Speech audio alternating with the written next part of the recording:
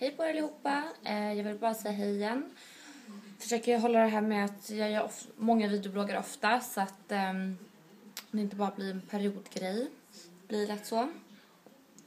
Eh, jag är lite tråkig idag. Jag kör på samma skjorta som igår men eh, jag känner att fantasin inte är på topp. Och ehm, det är lite småkyligt ute idag faktiskt så jag vill vara lite mer påklädd. Så det får duga men jag piffar till det med kärp lite snyggt sådär. Mm, ja. Eh, ja. Jag har inte så mycket att säga. Hejdå.